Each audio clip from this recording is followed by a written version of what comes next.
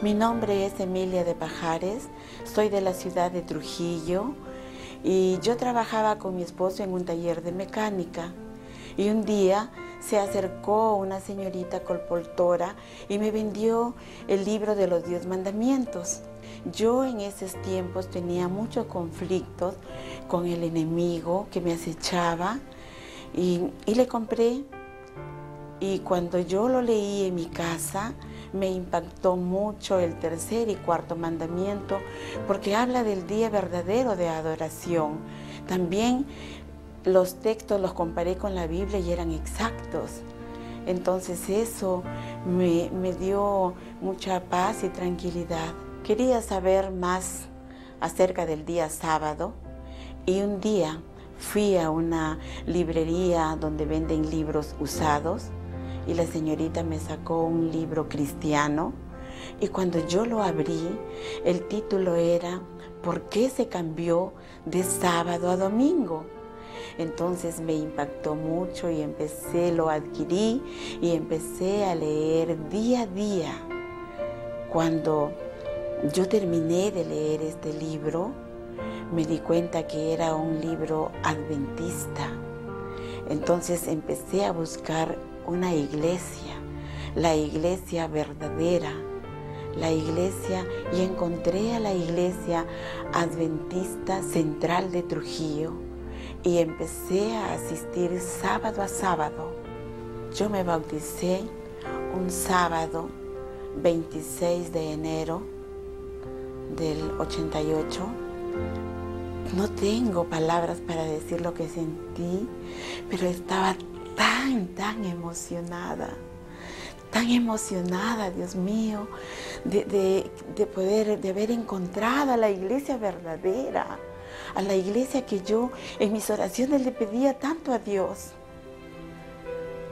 Y cuando me bauticé, sentí una gran paz en mi corazón, sentí una alegría indescriptible.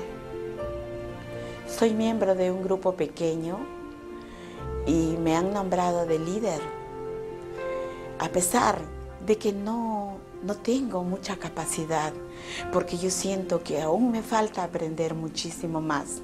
Pero en mi grupo pequeño hemos salido a distribuir estos libros misioneros. Tiempo de esperanza. Todavía existe esperanza. Y señales de esperanza. Estos libros, al leerlos, han fortalecido mi fe. Porque yo estoy segura de que no he llegado sola a la iglesia. Es el Espíritu Santo que ha trabajado en mí. La iglesia adventista tiene un gran desafío de, para el próximo año de repartir libros misioneros del conflicto de los siglos, para que mucha gente que vive en la oscuridad pueda conocer la verdad y en poco tiempo llegar a los pies de Cristo, porque Cristo está muy pronto a venir. Y Él quiere que mucha gente se salve porque Él ama a sus hijos. Así como Emilia, hay cientos y miles de personas en el mundo entero esperando el Evangelio de la palabra de Dios.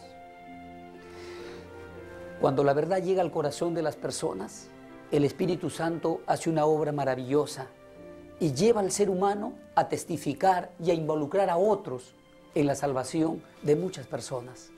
Por eso que Emilia involucró a su grupo pequeño, a su iglesia, en los últimos proyectos misioneros de la iglesia. En ese sentido, en el año 2012, la Iglesia Adventista del Séptimo Día tiene por propósito repartir millones de libros, la gran esperanza en todo el mundo. Por ello, hoy te invito a que te involucres y te comprometas en este maravilloso proyecto e involucres a tu familia y a tu iglesia para llevar el mensaje de salvación a todo el mundo.